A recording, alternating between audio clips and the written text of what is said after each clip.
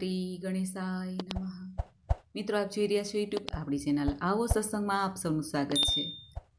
મિત્રો, આજે આ વિડીયોમાં આપણે સાંભળશું વૈશાખ માસના કૃષ્ણ પક્ષની એકાદશી, અપરા એકાદશી, અચલા એકાદશી કે જલ ક્રીડા એકાદશીની વ્રતકથા તથા મહિમા પૂજન વિધિ.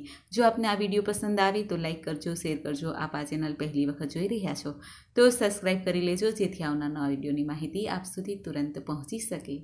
ધન્યવાદ મંગલમ ભગવાન વિષ્ણુ મંગલમ ગરુડધ્વજ મંગલમ પુંડરીકાક્ષ મંગલાય તનોહરી બોલો મંગલ મૂર્તિ ભગવાન શ્રી લક્ષ્મીનારાયણ દેવની છે મિત્રો વૈશાખ માસની કૃષ્ણ પક્ષની એકાદશી એટલે અપરા એકાદશી અપરા અર્થાત અપાર સુખ દેનાર અપાર ધન દેનાર ભૌતિક જ્ઞાન દેનાર સદબુદ્ધિ આપનાર, અસીમિત અદ્વિતીય જે ફળ છે તે પ્રાપ્ત કરાવનાર એટલે અપરા એકાદશી.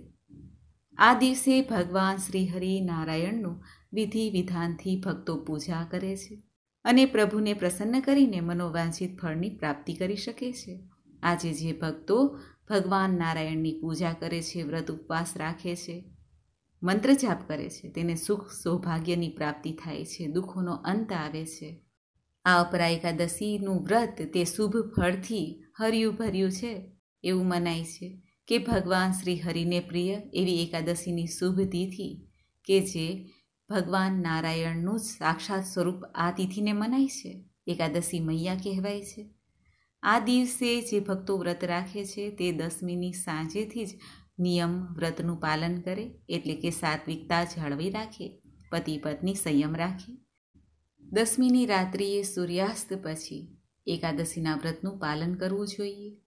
એકાદશીના દિવસે જે ભક્તો વ્રત રાખવા માંગે છે, તેઓ વહેલી સવારે ઉઠીને સ્નાનાદિથી પરવારીને શુદ્ધ વસ્ત્ર ધારણ કરે. આ દિવસે ભગવાનનું ખાસ પૂજન થાય છે. જો આપણા ઘરના મંદિરમાં પ્રભુની મૂર્તિ, ફોટો હોય તેનું વિશેષ પૂજન થાય છે. ધૂપ, દીપ, નૈવેદ્ય તુલસીદલ માખણ, મિશ્રી અને સિઝનના ફલ, ફલાદી, ભોગ છે, મીઠાઈ છે, શ્રીફળ છે. આદિથી ત્યારબાદ પ્રભુની સામે સંકલ્પ કરાય છે કે પોતે વ્રત કેવી રીતે કરે.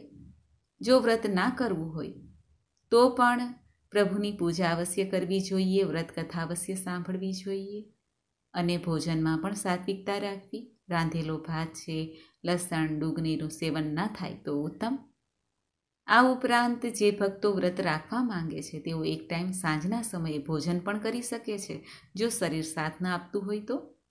અને જે ભક્તો ઉપવાસ કરે છે, એટલે કે આખો દિવસ ફલ ફલાદીથી યુક્ત રહે છે, તેઓ આ રીતે સંકલ્પ કરે પ્રભુની સામે.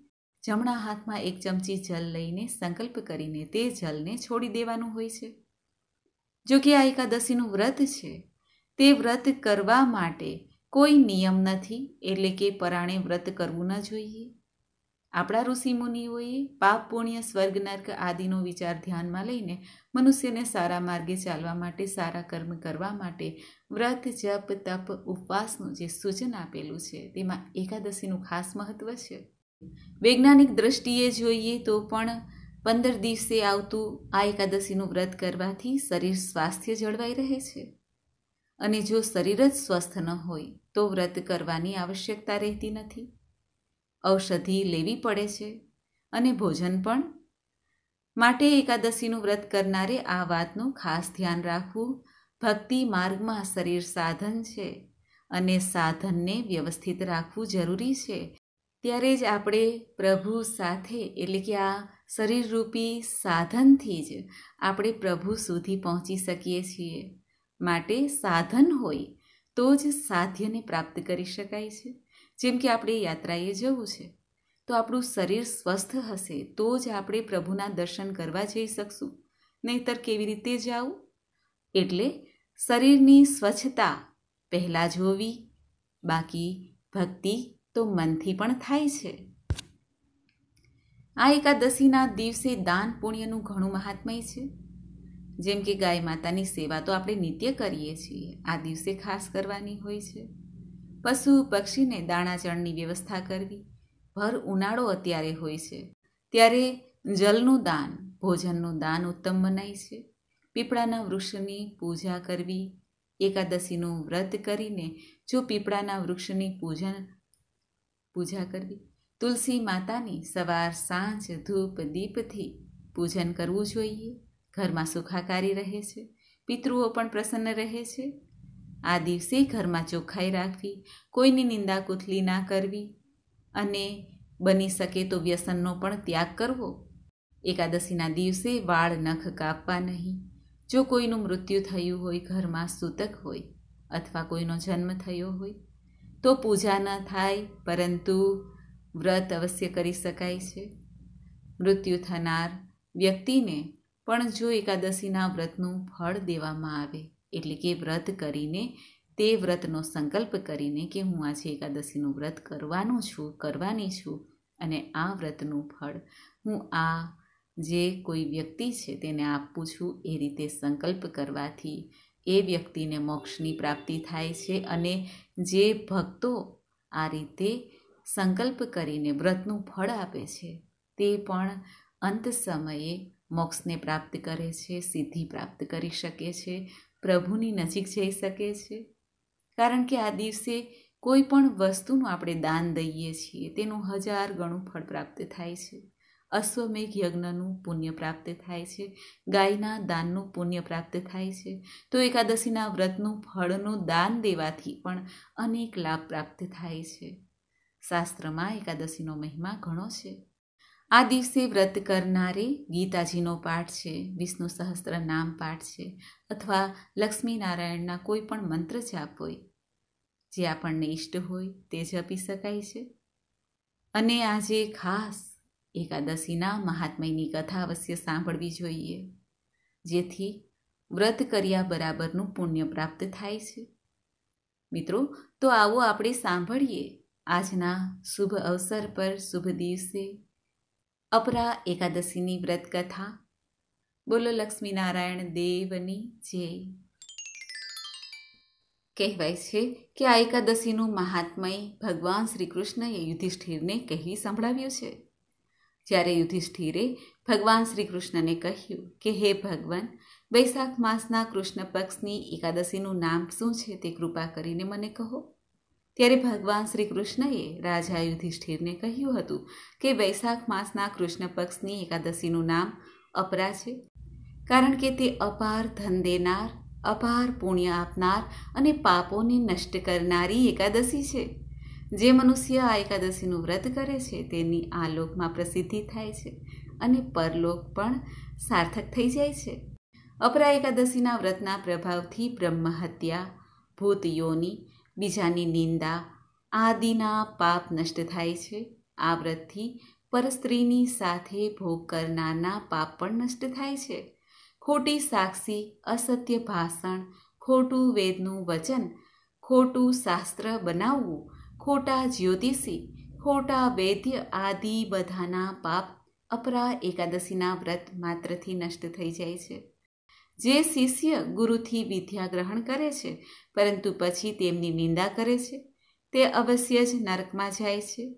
તે પણ જો અપરા એકાદશીનું વ્રત કરે, તો સ્વર્ગની પ્રાપ્તિ થાય છે.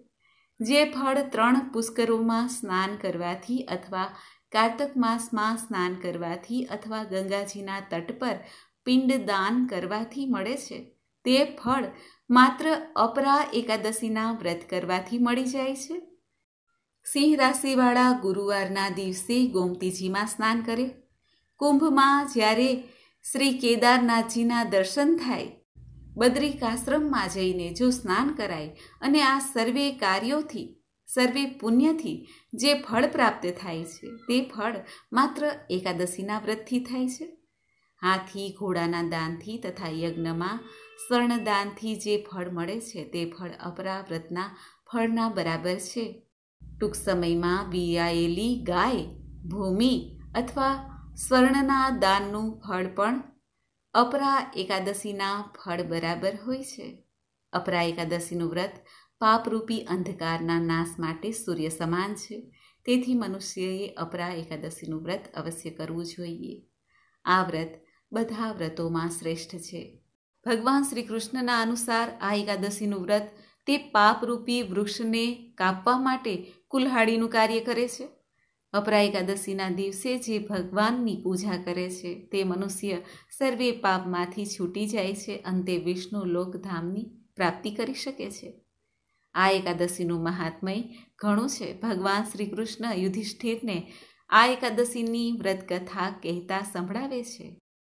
મહી ધ્વજ નામના એક ધર્માત્મા રાજા રાજ્ય કરતા હતા. તેમના નાના ભાઈનું નામ વજ્રધ્વજ હતું, જેઓ ક્રૂર કર્મી, અધર્મી અને અન્યાયી કરતા હતા. મોટા ભાઈનો દ્વેષ પણ કરતા હતા. નાના ભાઈએ મોટા ભાઈની હત્યા કરી નાખી અને તેનો દેહ જંગલમાં જઈને એક પીપળાના ઝાડ નીચે દાટી દીધો. અકાલ મૃત્યુને કારણે રાજા પ્રેત બની ગયા. પીપળાના વૃક્ષમાં રહેવા લાગ્યા અને ઉત્પાદ પણ કરવા લાગ્યા. એક દિવસ ધૌમ્ય ઋષિ ત્યાંથી પસાર થતા હતા. ઋષિનો સ્વભાવ હોય છે, તે છે કરુણામય. ઋષિએ આ પ્રેતને જોયું અને પોતાના તપના બલથી, એકાદશીના પુણ્ય બલથી તે ઋષિએ આ પ્રેતને ઉત્પાત કરતો અટકાવ્યો અને કહ્યું કે, હે પ્રેત, તું નીચે ઉતર. ત્યારે ઋષિએ પરલોક વિદ્યાનો ઉપદેશ આપ્યો આ ઉપરાંત, સ્વયં ઋષિએ પણ રાજાને પ્રેત યોનિમાંથી મુક્તિ અર્થે અપરા એકાદશી કે જેને અચલા એકાદશી કહેવાય છે, તે વ્રતનું પુણ્ય પણ આપ્યું. ઋષિના આ અપરા એકાદશીના પુણ્યબળથી રાજાને પ્રેત યોનિમાંથી મુક્તિ મળી. અને આ પ્રેત ઋષિને ધન્યવાદ દેવા લાગ્યો. ત્યારબાદ દિવ્ય દેહ ધારણ કરીને પુષ્પક વિમાનમાં તે સ્વર્ગમાં ચાલ્યા ગયા. ભગવાન શ્રી કૃષ્ણએ યુધિષ્ઠિરને કહ્યું કે, હે રાજન, આ કથા મેં તમને લોકહિત માટે કહી છે. આને વાંચવાથી, સાંભળવાથી મનુષ્ય બધા પાપમાંથી મુક્તિ મેળવી શકે છે. બોલો, લક્ષ્મીનારાયણ દેવની છે, એકાદશી મૈયાની છે. તો મિત્રો, આપણે સાંભળી એકાદશીની વ્રત કથા મહિમા, મુહૂર્ત. પૂજન વિધિ. મને આશા છે કે આપને આ વીડિયો જરૂર પસંદ આવ્યો હશે. હરે રામ હરે રામ રામ રામ, હરે હરે. હરે કૃષ્ણ હરે કૃષ્ણ કૃષ્ણ કૃષ્ણ, હરે હરે. બોલો ધર્મ ધુરંધર, ધર્મના રક્ષક ભગવાન શ્રી હરિ લક્ષ્મીપતિ નારાયણની છે. મિત્રો, મને સાંભળવા માટે ધન્યવાદ. આપ સૌને મારા જય શ્રી કૃષ્ણ.